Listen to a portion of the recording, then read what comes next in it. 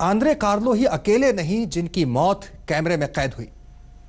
याद कीजिए, आज से नौ साल पहले जब पाकिस्तान के कद्दावर नेता बेनजीर भुट्टो भी आठ साल का वनवास काटने के बाद वतन लौटी तो उन पर हुआ कातिलाना हमला भी कैमरे में रिकॉर्ड हुआ। कैमरे की नज़र से ही सारी दुनिया ने देखा कि कैसे पूरब की बेटी को गोलियों से छलनी कर दिया गया।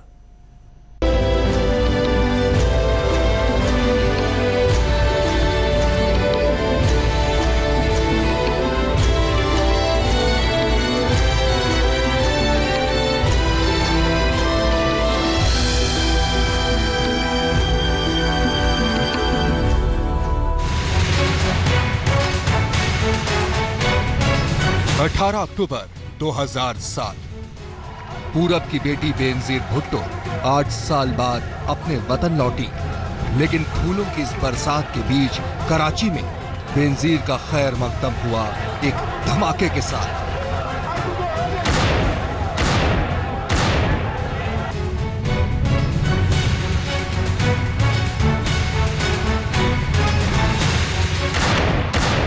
इस हमले में 165 लोग मारे गए।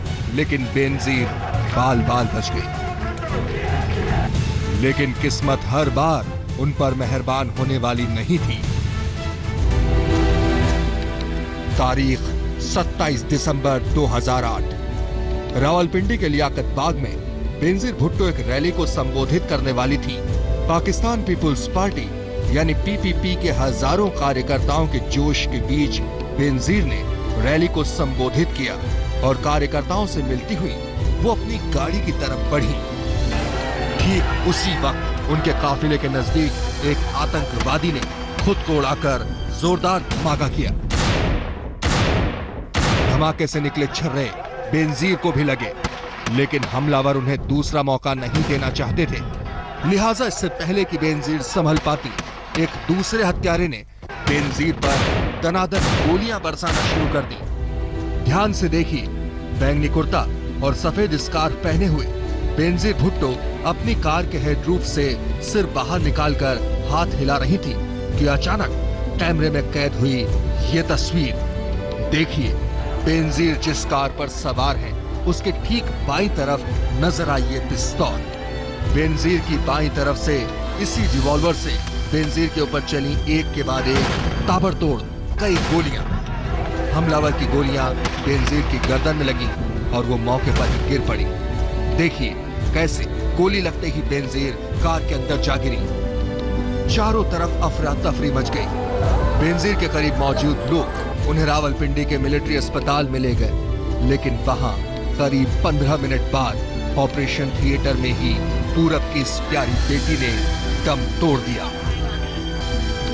आज तक ब्यूरो।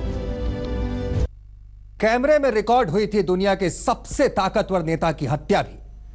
अमेरिकी राष्ट्रपति जॉन एफ़ कैनेडी अपनी ओपन लिमोजिन कार में सवार थे। तभी उनके सिर में लगी गोली और राष्ट्रपति ने कार में ही दम तोड़ दिया। तब भी कैमरे की रिकॉर्डिंग चल रही थी।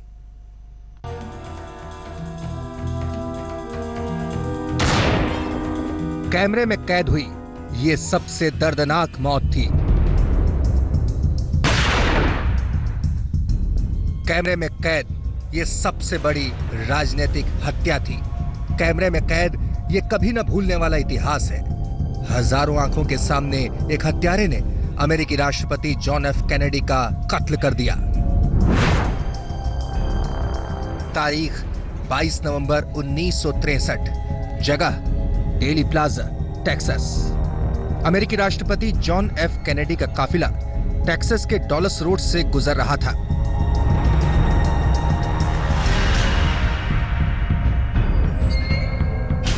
लेमोजिन कार में कैनेडी के साथ उनकी पत्नी जैकलिन और टेक्सास के गवर्नर जॉन कोनेली और उनकी बीवी नेली थी और उनके पीछे पीछे चल रहा था राष्ट्रपति का सुरक्षा दस्ता।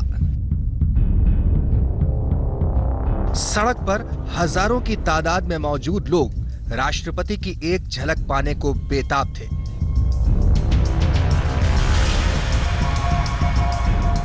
लेकिन अब वो पल आने वाला था। जिसे कभी इतिहास से नहीं मिटाया जा सकता है। वक्त साढ़े बारह बजे। कैनेडी का काफिला Texas school book depository building के ठीक सामने मुड़ा। राष्ट्रपति कैनेडी अपनी पत्नी जैकलिन से कुछ कहने के लिए झुके और फिर इस बिजली के खंबे से तीस कदम आगे बढ़ते ही आई एक गोली की आवाज़। एक के बाद एक, दो गोलियाँ। राष्ट्रपति के सिर को चीरती हुई निकल गईं। एक बार फिर देखिए।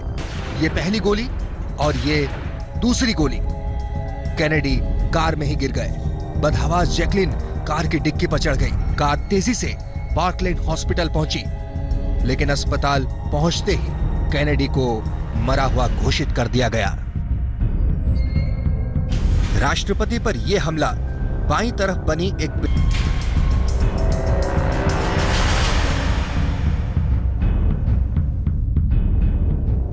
राष्ट्रपति का कत्ल करने वाले शख्स का नाम था हार्वे ओसवर्ल्ड हत्या के ठीक 45 मिनट बाद ओसवर्ल्ड को एक थिएटर से गिरफ़्तार कर लिया गया।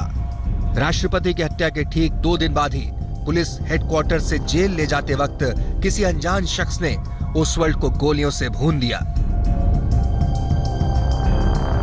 कितनी अजीब बात है कि कैनेडी की तरह उनके हत्यारे को जब गोली मारी गई, तब भी कैमरा चालू था। आज तक ब्यूरो। मिस्र में विजय दिवस के मौके पर राष्ट्रपति अनवर अल सादात सेना की सलामी ले रहे थे। परेड कैमरे में रिकॉर्ड हो रही थी कि अचानक परेड में शामिल सेना के एक ट्रक में सवार कुछ सैनिक कूदे और राष्ट्रपति के सामने आकर उन पर ताबड़तोड़ गोलियाँ बरसाने लगे। जिस वक्त राष्ट्रपति सादात पर हमला हो रहा था, तब भी कैमरा ऑन था।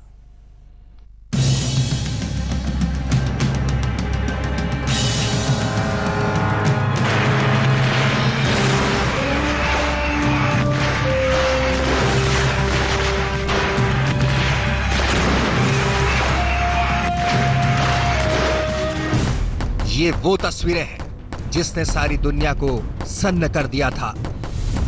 कैमरे के सामने हुआ था एक राष्ट्रपति का कत्ल, वो भी लाइव वो राष्ट्रपति जो शांति का मसीहा माना जाता था, उसे सरेआम गोलियों से भून दिया गया। तारीख 8 अक्टूबर 1981 शहर, काहिरा। मिस्र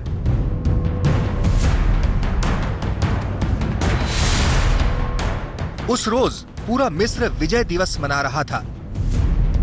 राजधानी काहिरा में सेना की परेड की सलामी लेने के लिए पहुँचे मिस्र के राष्ट्रपति अनवर अल सादात। परेड में सेना के ट्रक भी थे और इसी काफिले में शामिल एक ट्रक ठीक राष्ट्रपति सादात के सामने रुका। कोई कुछ समझ पाता उससे पहले कुछ ट्रक में सवार सैनिकों ने शुरू कर दी फायरिंग। दरअसल यह पूरा ट्रक कातिलों की पलटन से भरा हुआ था। ध्यान से एक बार फिर देखिए, जैसे ही ट्रक रुका, राष्ट्रपति सादात का कत्ल करने आए लेफ्टिनेंट इस्लाम बुली ने सबसे पहले एक के बाद एक तीन ग्रेनेड फेंके।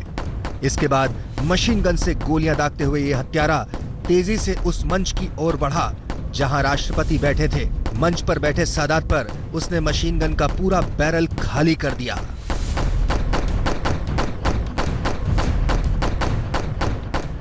कोई कुछ समझ नहीं पा रहा था। सादात के सारे बॉडीगार्ड इधर से उधर भाग रहे थे।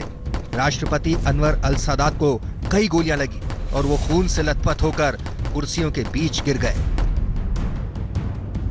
इस खूनी मंजर का एक एक पल कैमरे में कैद हो रहा था। ये देखिए तत्कालीन उपराष्ट्रपति हुस्न मुबारक कितने किस्मत वाले निकले, उन्हें घेर कर सुरक्षाकर्मी अलग ले गए। लेकिन सादात की किस्मत इतनी अच्छी नहीं थी, उन्हें एंबुलेंस में अस्पताल ले जाया गया, लेकिन एक घंटे में ही डॉक्टरों ने उनकी मौत का ऐलान कर दिया। उधर कातिलों की पलटन में से तीन जवाबी फायरिंग में मारे गए, जबकि बाकी लोगों को ज़िंदा पकड़ लिया गया। अनवर अल सादात की हत्या सारी दुनिया के लिए एक रहस्य बन गई। कैसे कैमरे के सामने पूरी फौज की मौजूदगी में एक राष्ट्रपति को खुलेआम मौत दे दी गई।